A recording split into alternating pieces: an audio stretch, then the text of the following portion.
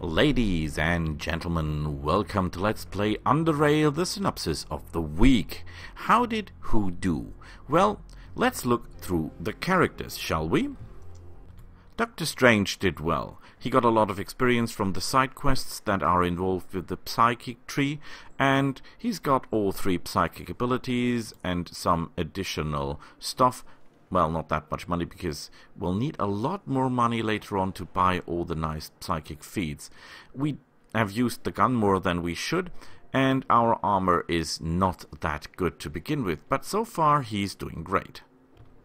John Preston, our man with the gun, does not have the biggest gun in the world, sadly, because he does not have what it takes to get the big gun in the beginning, persuasion, so he's fighting with a 5mm gun. But he's doing okay, although we start burning through our ammunition faster than I expected.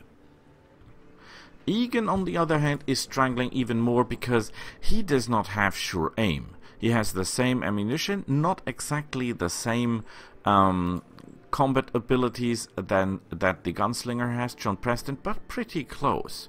So, so far he hasn't crafted anything, and, well, we have only one blueprint, so our Spangler or Egan, is falling a little bit behind. As with our friend the hammer guy Negan, he's got a hammer, which is good. He's got the lifting belt, which is very important for him um, because of the further damage reduction. We have very bad armor. We have to do something about the armor. The, the league of ranged weapons is a problem, and although the belt reduces the action points by 5 points, it does not help us that much because we can still only strike two times in a in a row. Lord Raiden, not so much Raiden sadly because he still cannot throw any lightning of a sword. Um, we have relatively good gloves. Pei Mei would, well, be really glad if he had those, but he does not. Um, so we're still doing okay thanks to the telekinetic punch, but we're struggling, we're struggling with this one.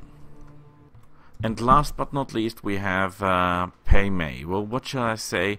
Yeah, I know the heavy punch was in most uh, views um, mispick because it will not serve us that good. On the other hand, though, let's not forget, it's it's part of the character. As Doctor Strange need to be a doctor, Mei needs to be a strong puncher, a heavy puncher. There is no way around that.